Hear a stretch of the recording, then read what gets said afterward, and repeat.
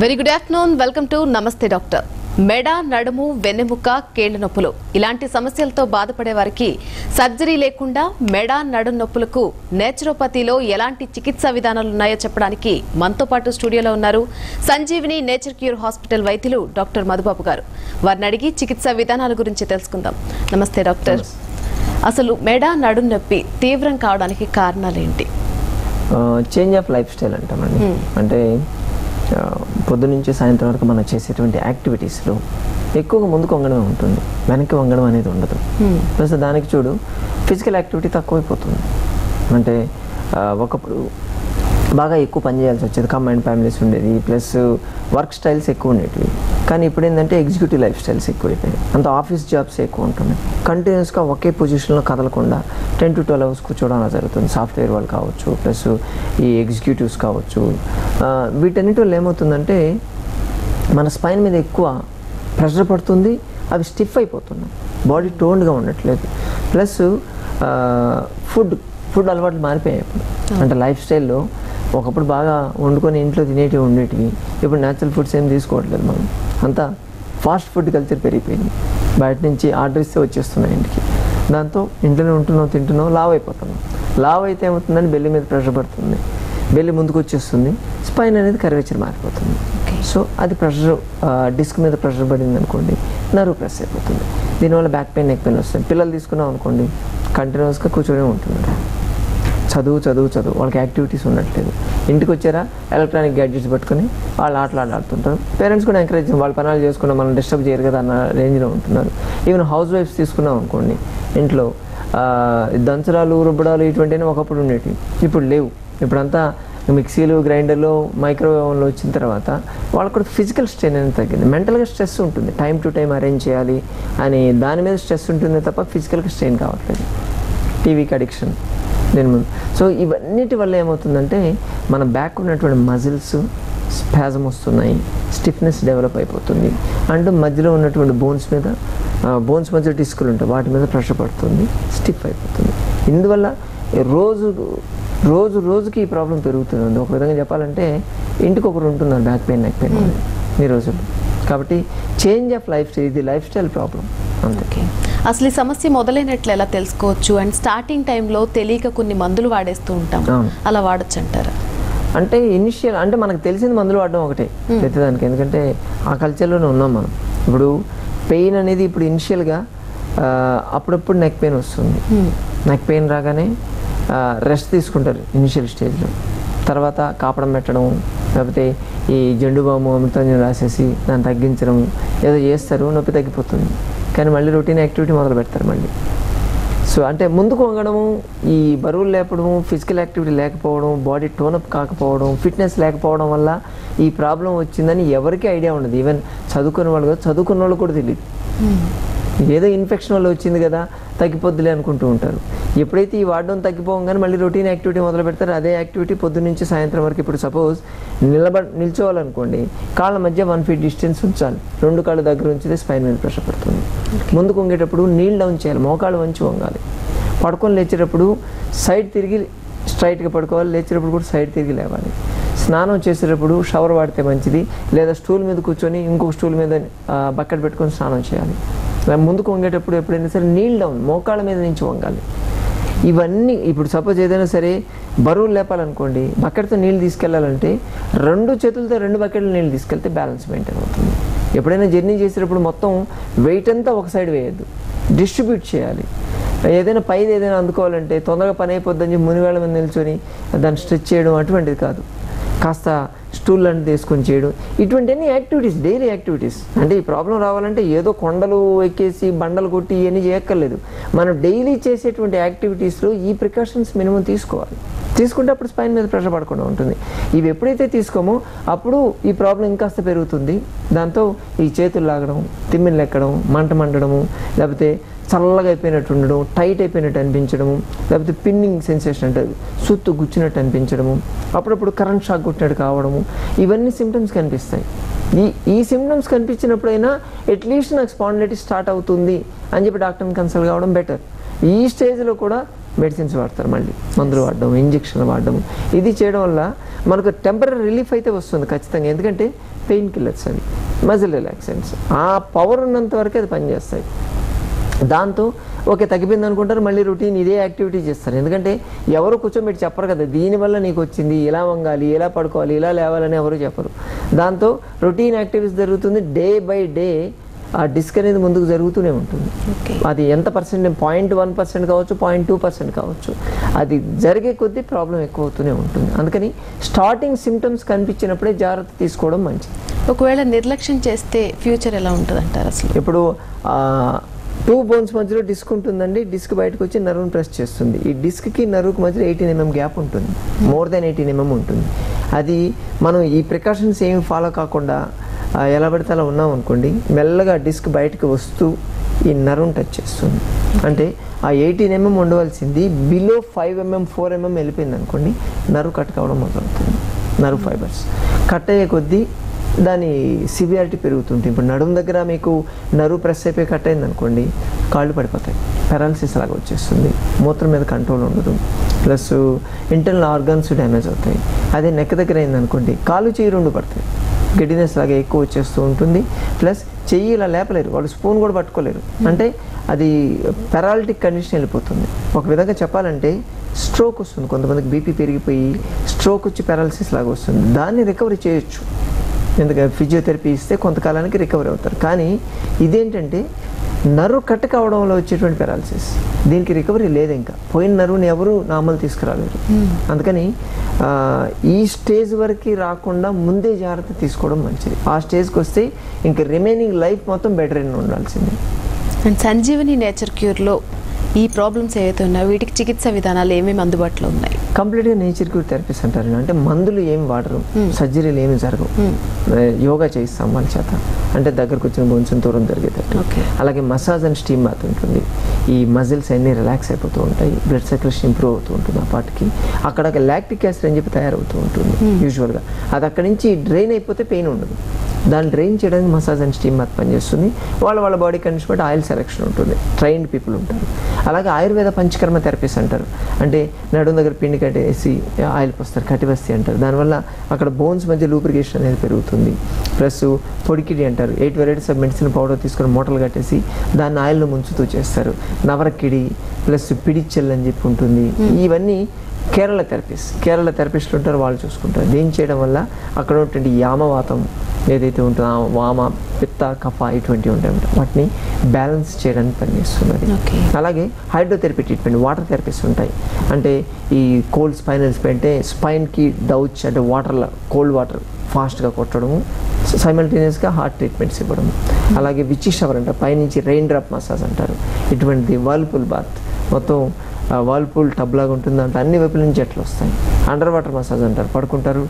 Jacuzzi లాగా పనిచేస్తుంది. ఇవి సర్కులర్ జెట్ అని ప్లస్ ఈ ఫుట్ అండ్ ఆమ్ బాత్ అని హిప్ బాత్ అని ఇటువంటి వాటర్ థెరపీస్ ఉంటాయి. ఇవి ఇస్తాము. Mud bath full mud baths బాడీకి ఏ పార్ట్ నుంచి ఏ పార్టీకి బ్లడ్ సర్క్యులేషన్ పెరగాలనే దాన్ని బట్టి ఫుల్ మడ్ బాత్ ఇస్తాము.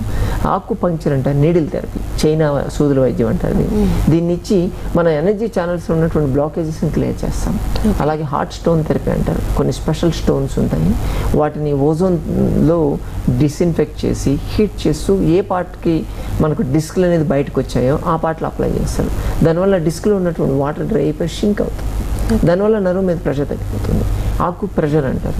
అంటే మన పామ్స్ సోల్స్లో ఉండేటువంటి రిమోట్ పాయింట్స్ని ప్రెస్ చేస్తాం. ఇప్పుడు సపోజ్ బ్యాక్ పెయిన్ ఉందనుకోండి బ్యాక్ పెయిన్ స్పైన్ ఇక్కడ ఉంటుంది? దాని రిమోట్ పాయింట్. దీన్ని ప్రెస్ చేయడం వల్ల మీకు నడువు నొప్పి తగ్గుతుంది. అది వాళ్ళకి నేర్పిస్తాం మేము. అలాగే నెక్ దగ్గర పెయిన్ ఉందనుకోండి సర్వైకల్ పాయింట్ ఇక్కడ ఉంటుంది? దాని వల్ల ఇన్స్టెంట్గా మసాజ్ చేసుకోవచ్చు. దీన్ని చేస్తూ ఉండడం వల్ల పెయిన్ గెట్ మెకానిజం అంటారు. దీనివల్ల స్పైన్లో ఉన్నటువంటి పెయిన్ తగ్గుతూ ఉంటుంది. ఇది కాకుండా కైరోప్రాక్టిక్ మ్యానిపులేషన్స్ అంటారు. పర్సన్ పడుకోబెట్టి వాళ్ళకి ఎక్కడ ఏ డిస్క్ అనేది బయటకు వచ్చింది ఏ బోన్స్ మధ్య గ్యాప్ పెరగాలనేది మేము అసెస్ చేసి వాళ్ళకి మూమెంట్స్ ఇస్తాం. ట్విస్ట్ చేయడము ప్లస్ స్ట్రెచ్ చేయడం చేస్తాం. ఇటువంటి చేయడం వల్ల ఆ బోన్స్ మధ్యలో ఒక ఫైబర్స్ లాంటివి ఫామ్ అవుతాయి. సో ఆర్టికులేషన్ వాటిని బ్రేక్ చేసేస్తాం. దాంతో ఫుల్ ఫ్లెక్సిబుల్ వస్తుంది. Hmm. ఈ థెరపీస్తో పాటు ఈవెన్ నైట్ పడుకునేటప్పుడు కూడా హెర్బల్ ప్యాక్స్ లాగేస్తాం కొన్ని మూలికలు నూరేసి దాన్ని పట్టులాగా వేస్తాం. అలాగే ఉండి పడుకోండి అని చెప్తాం. అది డ్రై అయ్యే కొద్దీ నొప్పి లాగేస్తూ ఉంటుంది. సో ఇన్ని థెరపీస్ మేము అప్లై చేస్తాం. Right doctor. మనతో మాట్లాడడానికి ఒక కాలర్ రెడీగా ఉన్నారు. మాట్లాడదాం. నమస్తే అండి. నమస్తే అండి. చెప్పండి మీ పేరు? నా పేరు లక్ష్మి అండి. నమస్తే లక్ష్మి గారు. డాక్టర్ గారు ఉన్నారు. మీకు ఎటువంటి సమస్య ఉన్నా మెడ నడు నొప్పికి సంబంధించి మాట్లాడొచ్చు. ఓకే అండి. డాక్టర్ గారు నమస్తే అండి. నమస్తే మేడం చెప్పండి. డాక్టర్ గారు మా పెద్దమ్మ గారికి టెన్ ఇయర్స్ నుంచి కూడా మెడ నొప్పి ఉందండి. అంటే అసలు ఆవిడ తట్టుకోలేకపోయేవారు. అది సర్జరీ చేయించారండి. తగ్గిపోతుందని చెప్పారు. సర్జరీ చేస్తే తగ్గిపోతుంది అన్నారు కానీ అది ఫెయిల్ అయిందని చెప్తున్నారండి. ఇప్పుడు చేయి కాలు కూడా ఆవిడకి పని చేయట్లేదు ఆ, మంచానికే ఉండిపోయారు ఆవిడ. మంచానికి పరిమితం అయిపోయారు. మాకు ఎవరికి అంటే ఎవరిని కన్సల్ట్ చేయాలి అసలు ఏం చేయాలి కూడా అర్థం కావట్లేదు. మీ దగ్గర తీసుకొస్తే ఏమైనా క్యూర్ చేయగలరా డాక్టర్ గారు? ఓకే. ఈ ఇటువంటి కేసులకి ఆ, ముందే రావాలమ్మా. మీరు ఆల్రెడీ సర్జరీ అయిపోయిన తర్వాత అది ఫెయిల్ అయింది. ఒక విధంగా చెప్పాలంటే ఇటువంటి కేసులో నరువు కట్ అయిపోయిందండి. నెక్ దగ్గర మనం ఇంతకుముందు చెప్పుకున్నాము. ఆ, నడుము దగ్గర చేసేమో కాళ్ళు పడిపోతాయి. ఏదైనా ఫెయిల్ అయితే. నెక్ దగ్గర కట్ అయింది అనుకోండి కాలు చేయి రెండు ఎఫెక్ట్ అయ్యేటువంటి ఛాన్స్ ఉంటాయి. ఈ కేసుకి వాళ్ళు నెక్ దగ్గర చేసినప్పుడు ఏంటంటే రైట్ బ్రెయిన్ నుంచి లెఫ్ట్ బ్రెయిన్ నుంచి నవ్స్ వస్తాయి మనకు. అది ఎక్కడో అంటే ఆల్మోస్ట్ కేర్ తీసుకుంటారు కానీ చెప్పలేం. అది చేసేటప్పుడు కట్ చేయాలి. దాన్ని బయటకు వచ్చిన డిస్క్ని కట్ చేసేటప్పుడు ఎక్కడో పొరపాటున కట్ అయిపోతున్నారు. కట్ అయిపోతే కాలు చేరుండి పడిపోయింది. ఇప్పుడు ఆవిడ పరిస్థితి కంప్లీటింగ్ బెడ్ రెడనే లైఫ్ లాంగ్ అలా ఉండాల్సింది. దీనికి రికవరీ అనేది ఉండదు. మా దగ్గర ఏంటంటే ఈ స్టేజ్కి వెళ్ళొద్దు నరువు కట్ అయిపోయిందని మేమేం చేయలేం. ముందే జాగ్రత్త పడితే ఈ స్టేజ్కి రాకుండా మనం ఆపొచ్చు. ఓకే అండ్ సంజీవిని నేచర్ క్యూర్లో మీరు చెప్పారు ఇన్ని చికిత్స విధానాలు అందుబాటులో ఉన్నాయి. ఈ చికిత్సలు తీసుకోవాలంటే ఎక్కడికి రావాలి? అండ్ ఎన్ని రోజులు ఈ చికిత్స తీసుకోవాల్సిన అవసరం ఉంది? మాది హాస్పిటల్ ఉందండి మొయినాబాద్లో ఉంటుంది. చిలుకూరు బాలాజీ టెంపుల్ దగ్గర ఉంటుంది. అక్కడ ఇన్ పేషెంట్ లాగా ట్రీట్మెంట్ తీసుకోవచ్చు. పూర్తిగా ఫుడ్ అకామిడేషన్ మేమే ప్రొవైడ్ చేస్తాము. ఈ ట్రీట్మెంట్స్ అన్ని అప్లై చేస్తాము. వాళ్ళ వాళ్ళ బాడీ కండిషన్ బట్టి ఏమి ఇవ్వాలి ఎప్పుడు ఇవ్వాలి అన్నది మేము షెడ్యూల్ ప్లాన్ చేస్తాము. ఏ కేసు అయినా సరే మినిమం నరు రియాక్ట్ అయ్యి ప్లస్ డిస్క్ అనేది రియాక్ట్ కావడానికి టైం పడుతుంది. కనీసం ఒక ఫోర్ టు సిక్స్ వీక్స్ పట్టొచ్చు. ఓకే మినిమం అయితే త్రీ వీక్స్ ఉండాలి అని చెప్తాం మేము. ఇన్ పేషెంట్ లాగా ఉండగలిగితే రిజల్ట్ అనేది చాలా బాగుంటుంది. అయితే కొంతమంది అన్ని రోజులు ఉండలేకపోవచ్చు. మరి అటువంటి వాళ్ళ కేసెస్లో ఎట్లా? ఉండలేకపోతే అవుట్ పేషెంట్ లాగా రావచ్చు అండి అంటే ఇప్పుడు ఈ twenty one days thirty days forty days ఏదైతే మేము చెప్పామో ఆ షెడ్యూల్లో అట్లీస్ట్ వచ్చి ఉండలేకపోవచ్చు Hmm. వాళ్ళు. బ్రేక్స్ తీసుకొని రండి అని చెప్తాం. ఓకే అంటే ఇప్పుడు ఫైవ్ డేస్ ఇప్పుడు ఫైవ్ డేస్ రావాలి. దాంట్లో కోర్స్ ఫినిష్ చేస్తాం.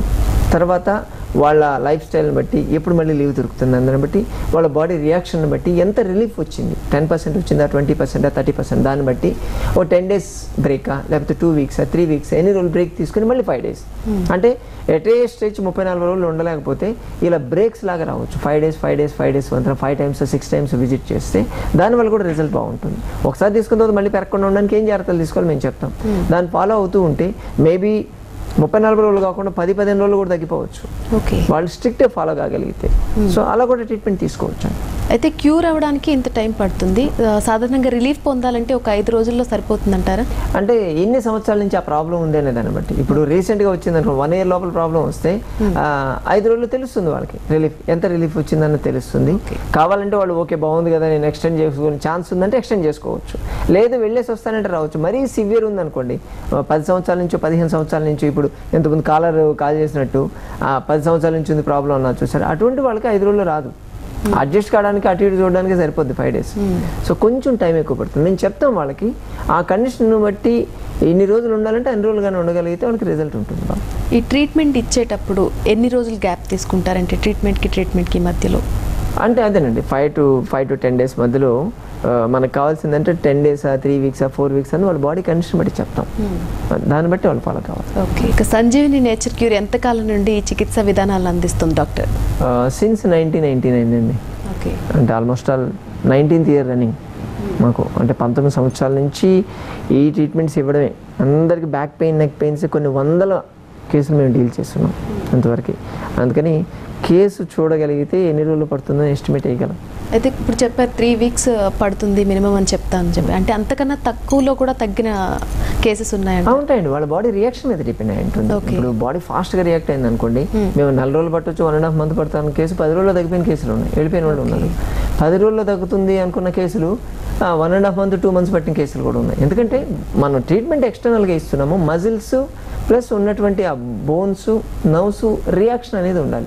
అది రియాక్ట్ అయిపోతే ఎంత ఫాస్ట్గా ట్రీట్మెంట్కి రియాక్ట్ అయితే అంత ఫాస్ట్గా రిజల్ట్స్ వస్తాయి. ఓకే. అయితే అందరూ కూడా ఇన్పేషెంట్గా ఉండలేకపోవచ్చు. అటువంటి వాళ్ళ కేసెస్లో ఎలా అండి? అంటే ఇన్పేషెంట్ లేని వాళ్ళు కనీసం వారానికి రెండు సార్లు అయినా సరే మా క్లినిక్కి రావాలి. అంటే వచ్చినప్పుడు ఒక three three and half hours spend చేయాలి. చేస్తే దాంట్లో ఒక సెట్ ఆఫ్ ట్రీట్మెంట్స్ ఉంటాయి. అంటే యోగా స్ట్రెంథింగ్ ఎక్సర్సైజెస్ అవి చేయిస్తాము. దాంతోపాటు massage steam bath Ayurveda panchakarma ఉంటుంది. ఆకుపంక్చర్ ఇస్తాము సుజోక్ అండ్ ఫిజియోథెరపీ ట్రీట్మెంట్ ఇస్తాము. దాంతో ఏమవుతుందంటే వాళ్ళకి స్టెబిలైజ్ అవుతుంది అలా. అంటే ఆ ట్రీట్మెంట్ త్రీ అవర్స్ తీసుకోగానే అసలు ఏమి నొప్పి తెలియదు అలా ఉండిపోద్ది. దాన్ని అదే స్టేజ్ని ఎలా కంటిన్యూ చేయాలి? ఒక టూ త్రీ డేస్ గ్యాప్ ఇచ్చి మళ్ళీ నెక్స్ట్ సెషన్ రండి అని చెప్తాం. దాన్ని ఈ గ్యాప్లో ఫుడ్లో ఏం జాగ్రత్తలు తీసుకోవాలి? ఏం ఎక్సర్సైజ్ చేసుకోవాలి? డైలీ యాక్టివిటీలో ఏం చేంజెస్ తీసుకోవాలి? అన్నది మేము చెప్తాం. దీన్ని ఫాలో అవుతూ మళ్ళీ నెక్స్ట్ సెషన్ వరకు మెయింటైన్ చేసుకోగలిగితే మళ్ళీ ఫర్దర్ రిలీఫ్. ఇలా వాళ్ళు ఒక టెన్ సెషన్స్ ఫిఫ్టీన్ సెషన్స్ వాళ్ళ కండిషన్ బట్టి చెప్తాం. వారానికి రెండు సార్లు. అంటే వారంలో మాకు six to seven hours time ఇవ్వండి. ఇలా కూడా క్యూర్ అయిపోతాయి ప్రాబ్లమ్స్. కాకపోతే వాళ్ళ వాళ్ళ టై ప్రాబ్లం బట్టి టైం అనేది డిసైడ్ అవుతుంది. అలా వాళ్ళకి అసలు అప్రాక్సిమేట్గా ఎన్ని రోజులు పట్టొచ్చు doctor? Five five weeks minimum పెట్టుకోమంటాం. అంటే రెండు వీక్లీ రెండు ఇస్తారు కాబట్టి ఫైవ్ వీక్స్ అంటే టెన్ సెషన్స్ మినిమం దాన్ని చూడండి ఎంత రిలీఫ్ వచ్చేసింది. రిలీఫ్ వచ్చేసి మేనేజ్ చేయగలిగితే ఇంక రానక్కర్లేదు. లేదు ఇంకా కొంచెం ఉందంటే కొంచెం ఎక్స్టెండ్ చేసుకోండి అని చెప్తాం. ఇలా కూడా తీసుకోవచ్చు. ఖచ్చితంగా ఇన్ పేషెంట్ ఉండి మొత్తం వదిలేసి వచ్చి ఫ్యామిలీని జాబ్లను వదిలేసి వచ్చి ఇక్కడ ఉండాలనే కాదు. అవుట్ పేషెంట్ లెక్క కూడా ట్రీట్మెంట్ తీసుకోవచ్చు. వాళ్ళ జాబ్స్కి వెళ్తూ మేము చెప్పేటువంటి ప్రికాషన్స్ ఫాలో అవుతూ ట్రీట్మెంట్ తీసుకోవచ్చు. అయితే కొంతమంది ఇంటి నుంచి బయటికి రాలేని పరిస్థితిలో ఉంటారు. అటువంటి వాళ్ళకి సంజీవిని నేచర్ క్యూర్ ఎలాంటి ఎలాంటి చికిత్స విధానం అందిస్తుంది? ఆ, రాలేకపోతే మేము హోమ్ సర్వీస్ ప్రొవైడ్ చేస్తామండి. అంటే మా టీం ఇంటికి వెళ్ళిపోతారు. ఓ. నవ్ అని చెప్పి ప్రోగ్రామ్ ఉంది. నేచర్ క్యూర్ ఆన్ వీల్స్ అని. మొత్తం మా టీం వెళ్ళిపోతారు. యోగా టీచర్ వెళ్తారు యోగా స్ట్రెంథనింగ్ ఎక్సర్సైజెస్ అవన్నీ చేయిస్తారు. దాంతోపాటు మా థెరపిస్ట్ టీం కూడా వెళ్ళిపోతుంది. వాళ్ళు ఏం చేస్తారంటే ఆ థెరపీ మేము ఏం సజెస్ట్ చేసాము పంచకర్మ థెరపీ లేకపోతే మసాజ్ స్టీమా ఇవి ఇచ్చేసి స్టీమ్ బాత్ క్యాబిన్ కూడా తీసుకెళ్తారు. స్టీమ్ స్టీమ్ కూడా ఇచ్చేసి ప్రికాషన్ చెప్పేసి డైట్ చార్ట్ ఇచ్చేసి వచ్చేస్తారు అనమాట మొత్తం మొత్తం ఎక్విప్మెంట్ వీళ్ళే తీసుకెళ్ళిపోతారు. Massage table steam bath cabin మొత్తం ఎవ్రీథింగ్ మీ ఇంట్లో ప్లేస్ ఉంటే చాలు. మా టేబుల్ వేయడానికి ఉండే ప్లేస్ ఉంటే చాలు. అది చేసేసి మొత్తం నీట్గా క్లీన్ చేసేసి వచ్చేస్తారు. సో ఇది కూడా వాళ్ళ కండిషన్ బట్టి వారానికి రెండు సార్లు మూడు సార్లు తీసుకుంటే ఇలా కూడా రిలీఫ్ వచ్చేస్తుంది. రాలేని వాళ్ళకి ఈ ఫెసిలిటీస్ కూడా ప్రొవైడ్ చేయగలం. అయితే అందరికీ అన్ని రకాల రంగాల వారికి కూడా అందుబాటులో ఉండేలా ఉంటుందంటారా? Sanjeevini nature cure? అవునండి ఈజీగానే ఉంటుంది. ఎందుకంటే డిఫరెంట్ కేటగిరీస్ వచ్చి మొత్తం వదిలేసి మేము ఉండగలం ఎలా అయినా తగ్గిపోవాలంటే ఇన్ పేషెంట్ లేదండి మేము జాబ్స్కి వెళ్ళాలి మాకు లీవులు దొరకమంటే అవుట్ పేషెంట్ రావచ్చు. లేదు అది కూడా చేయలేము. మేము బయటికి కాలు పెట్టే పరిస్థితి లేదు. మీరే ఏదైనా చేయండి అంటే హోమ్ సర్వీస్ ఇలా మూడు రకాలు. ప్లస్ ట్రీట్మెంట్ కాస్ట్ కూడా చాలా తక్కువ ఉంటుంది. మినిమం వేలు వేలు ఏమి ఉండదు. ఇక్కడ ఇన్ పేషెంట్ కాకపోతే ఫెసిలిటీస్ మీకు ఏం ప్రొవైడ్ చేస్తున్నాం. ఇంటికి పిలిపించుకుంటే కొంచెం కాస్ట్లీ ఉంటుంది. అవుట్ పేషెంట్ అంటే కొంచెం తక్కువ ఉంటుంది. ఇన్ హౌస్ అక్కడే ఫుడ్ అకామిడేషన్ తీసుకోవాలంటే కొంచెం కాస్ట్లీ అంటే నామినల్ ఈవెన్ కామన్ మ్యాన్కి కూడా అందే రేట్లోనే ఉంటుంది. ఓకే సంజీవిని నేచర్ క్యూర్ ట్రీట్మెంట్కి ఇన్సూరెన్స్ కవరేజ్ ఉందా డాక్టర్? ఆయుర్వేద పంచకర్మ థెరపీస్ ఇప్పుడు అన్ని కంపెనీలు ఇస్తున్నాయండి. అన్ని ప్రైవేట్ కంపెనీస్ ఇస్తున్నాయి. అంటే మీరు తీసుకున్న పాలసీలో వాళ్ళ వాళ్ళ పాలసీ ఎంత క్లెయిమ్ చేసుకోవచ్చు? ఇప్పుడు చాలా వరకు టెన్ పర్సెంట్ ఇస్తామంటారు. పాలసీ వన్ ల్యాక్ అయితే టెన్ థౌసండ్ వరకు మేము ఇస్తామని చెప్పి. కొన్ని కంపెనీలు ట్వంటీ పర్సెంట్ ఇస్తున్నాయి. వచ్చేవాళ్ళు వాళ్ళు చూసుకోవచ్చు. వాళ్ళ దాంట్లో ఆయుర్వేద పంచకర్మ కవరేజ్ ఉంది అంటే మా ట్రీట్మెంట్ రీఎంబర్స్మెంట్ అయిపోతుంది. ఇప్పుడు ఎన్ఏబిహెచ్ అక్రెడిషన్ కూడా ట్రై చేస్తున్నామండి మేము. ఎన్ఏబిహెచ్ అక్రెడిషన్ వచ్చిందంటే ఆల్ ఓవర్ ఇండియా ఎవరైనా వచ్చి ట్రీట్మెంట్ తీసుకుంటే వాళ్ళకి రీఎంబర్స్మెంట్ వస్తుంది. కాకపోతే కొంచెం ప్రాసెస్లో ఉంది అది. అయితే సర్జరీ లేకుండానే అన్ని కేసులు చూడడం జరుగుతుందంటారా? అండ్ చివరిగా ప్రేక్షకులకు మీరు ఇచ్చే సూచన ఏంటి? సర్జరీ అని మీకు డాక్టర్ చెప్పినప్పుడు తొందరపడద్దు. ముందు ఒకసారి మమ్మల్ని కలవండి సంజీవిని కలవండి. మీకు రెండే ఆప్షన్స్ ఉంటాయి. సంజీవినియా సర్జరీయా. సో మేము మీ కండిషన్ చూసి ఓకే ఇది సర్జరీ లేకుండా మేము క్యూర్ చేయగలము అంటే ఆ కేసు హండ్రెడ్ పర్సెంట్ మేము క్యూర్ చేస్తాం. కాకపోతే టైం ఇవ్వాలి మాకు ఖచ్చితంగా. సర్జరీ అంటే ఒకరోజు కార్యక్రమం కోసేసుకొని ఇంటికి వెళ్ళిపోవచ్చు. కానీ సర్జరీ లేకుండా న్యాచురల్ వే తగ్గించడానికి టైం తీసుకుంటుంది ఖచ్చితంగా. పది సంవత్సరాలు పదిహేను సంవత్సరాల నుంచి సఫర్ అయ్యే వాళ్ళు కనీసం మాకు పది వారాల టైం అయినా మాకు ఇవ్వాలి పది రోజులు అంటే కావడం కష్టం. సో మేము ఎన్ని రోజులు చెప్తున్నామో అన్ని రోజులు టైం కానీ ఇవ్వగలిగితే ఈవెన్ సర్జరీ అని చెప్పిన కేసులు కూడా చాలా వరకు మేము క్యూర్ చేయగలం దాన్ని. సపోజ్ ఆ మధ్యలో మనం సెంట్రల్ కెనాల్ మెజర్మెంట్స్ అని మాట్లాడుకున్నాం ఇంతకు ముందు అది మరీ టూ ఓ త్రీ ఓ ఉండిపోయి పూర్తిగా నర్వ్ ఆ సిమ్టమ్స్ స్టార్ట్ అయిపోయి కాలు ఈడ్చుకోవడం ఆ స్టేజ్లో వస్తే మేము కూడా ఏం చేయలేం. అప్పుడు వాళ్ళు ఇంకా మిగిలిన ఆప్షన్ సర్జరీ కాబట్టి ఈవెన్ సర్జరీ అని చెప్తే ముందు మమ్మల్ని కన్సల్ట్ కమ్మని చెప్తాం. అయితే బ్యాక్ పెయిన్ లెగ్ పెయిన్ ఎవరైతే ఫేస్ చేస్తూ ఉన్నారో వాళ్ళకి మీరు ఇచ్చే సలహా సూచనలు ఏంటి డాక్టర్ ఇన్ కేస్ మీకు సిమ్టమ్స్ కనిపించగానే మీకే మీరు సెల్ఫ్ థెరపీ స్టార్ట్ చేయొద్దు. డాక్టర్ని కన్సల్ట్ కాండి. రెండోది వెయిట్ లాంటిది ఏదైనా ఉంటే ముందు వెయిట్ తగ్గడానికి ట్రై చేయండి. ఎందుకంటే ఈ back pain neck pain problem అనేది చూస్తే చిన్నదే. నెగ్లెక్ట్ చేస్తే అది లైఫ్నే డిజేబుల్ చేసేస్తుంది పూర్తిగా. అందుకని early intervention is always better అని చెప్తున్నాం మీరు ఎంత తొందరగా ఈ ట్రీట్మెంట్ కానీ తీసుకోగలిగితే అంత ఫాస్ట్గా రిలీఫ్ అయిపోతుంది. ముందు మీరు సేఫ్ జోన్లో ఉంటారు. చూద్దాంలే చేద్దాంలే ట్యాబ్లెట్ ఇప్పటికైతే చాలామందికి అదే మెంటాలిటీ ఉంటుంది. ఆ ఏముంది ట్యాబ్లెట్ వేసుకుంటే నడిచిపోతుంది కదా. చూద్దాంలే సీరియస్ అయినప్పుడు చూద్దామని అంటారు. ఇది ఇర్రివర్సిబుల్ ప్రాబ్లం అండి. ఒక్కసారి బాడీలో చేంజెస్ వచ్చి మీకు డిస్క్ బయటకు వచ్చేసి అది అవుట్ ఆఫ్ హ్యాండ్స్ వెళ్ళిపోతే ఇంకా రివర్స్ అనేది కాదు. మీరు ఎన్ని లక్షల కోట్లైనా పెట్టుకోండి. అది రివర్స్ కాదు. అందుకనే ముందే ట్రీట్మెంట్ తీసుకొని సేఫ్ జోన్లో ఉండగలిగితే మీకు ఈ ప్రాబ్లం అనేది ఎటువంటి ప్రాబ్లం ఇవ్వదు. అలా కాకుండా దాన్ని నెగ్లెక్ట్ చేస్తే మాత్రం లైఫ్ థ్రెటనింగ్ ప్రాబ్లం అవుతుంది. మీకు చెప్పేది మేబీ వచ్చి మూడు వారాలు నాలుగు వారాలు ట్రీట్మెంట్ తీసుకోవాలంటే లెక్కలేసుకుంటారు. ఆ రోజుకు వెయ్యి రూపాయలు అమ్మో ఎంత అవుతుంది కదా అనుకుంటారు. కానీ వాళ్ళకి తెలియకుండానే నెలకి ట్యాబ్లెట్ల మీద ప్లస్ ఎంఆ ఎంఆర్ఐల మీద ఎక్స్రేల మీద సంవత్సరం తిరిగితలకు ముప్పై నాలుగు వేలు ఖర్చు పెట్టేస్తుంటారు. సో ట్రీట్మెంట్ తీసుకోవడానికి చూపించిన ఉత్సాహం డయాగ్నోస్టిక్ సెంటర్కి పెట్టేస్తారు. ఎంఆర్ఐ తీసుకుంటే పదివేలు అవుతుంది. దాన్ని పరిగెత్తి పరిగెత్తి వెళ్ళి ఎంఆర్ఐ తీసుకుంటారు.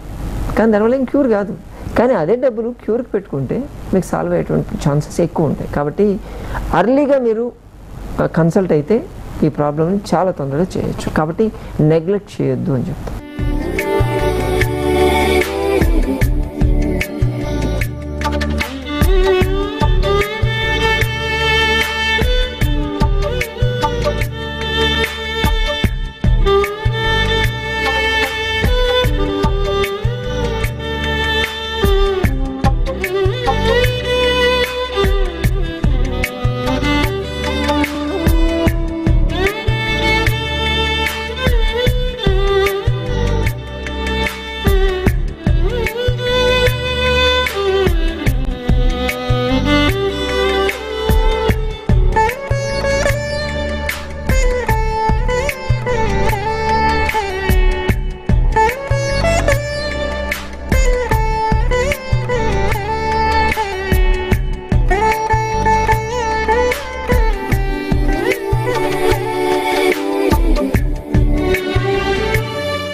ట్రోజాన్ షోల్డర్ అంటే లెఫ్ట్ తర్వాత మెడ నొప్పి ఉండేది.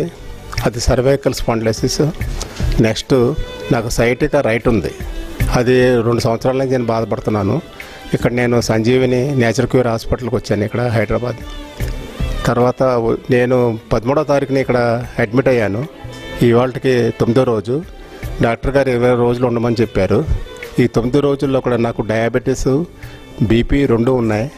అయితే డయాబెటీస్ త్రీ డేస్ తర్వాత నేను వచ్చి జాయిన్ అయిన త్రీ డేస్ తర్వాత మానిపించేశారు. సిక్స్ డేస్ నుంచి నేను డయాబెటీస్ మాత్రలు కూడా వేసుకోవద్దన్నారు మానేశాను. తర్వాత నా బీపీ ట్యాబ్లెట్స్ మార్నింగ్ ఈవినింగ్ వేసుకుంటున్నాను. అది కూడా మానిపించి ఒక పూట వేసుకోమన్నారు. అట్ ప్రజెంట్ నాకు ఫ్రోజన్ షోల్డరు బాగా బాధ పెట్టేది. అది ప్రస్తుతానికి నేను చెయ్యి ఎత్తగలుగుతున్నాను. నొప్పి కూడా ఫిఫ్టీ పర్సెంట్ కవర్ అయింది. తర్వాత మెడ నొప్పి దరిదాపు సెవెంటీ ఫైవ్ పర్సెంట్ తొమ్మిది రోజుల్లో కవర్ అయింది. తర్వాత నా సైటిక రైట్ రైట్ లెగ్ అది కూడా నాకు ట్వంటీ ఫైవ్ పర్సెంట్ కవర్ అయింది. ఇంకా పదే పదకొండు రోజులు నాకు ఉన్నాయి కనుక ఈలోగా తగ్గుతుందని డాక్టర్ గారు చెప్పారు. నాకు నమ్మకం కూడా ఉంది. నా వర్క్ ప్రెషర్ వల్ల నాకు సర్వికల్ స్పాండిలైసిస్ మరియు లంబార్ స్పాండిలైసిస్ వచ్చింది. బాగా తిరిగాను హాస్పిటల్స్ అన్ని అప్రోచ్ అయ్యాను. ఎక్కడ కూడా వాళ్ళు సజెస్ట్ చేసింది నాకు సర్జరీకి వెళ్ళని చెప్పారు. The two two places one cervical and other one is lumbar.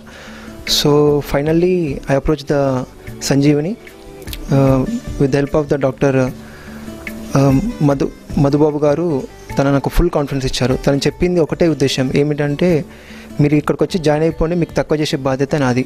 So నేను ఇక్కడ కూడా ముందు తిరిగిన హాస్పిటల్స్కి ఇక్కడికి మెయిన్ డిఫరెన్స్ నాకు అనిపించింది ఇక్కడ అనమాట సో వెంటనే నేను జాయిన్ అయిపోయాను. ఈరోజు పదిహేనో రోజు నాకు ఇక్కడ. దగ్గర దగ్గర ముప్పై రోజుల ట్రీట్మెంట్ నాకు ఉంది.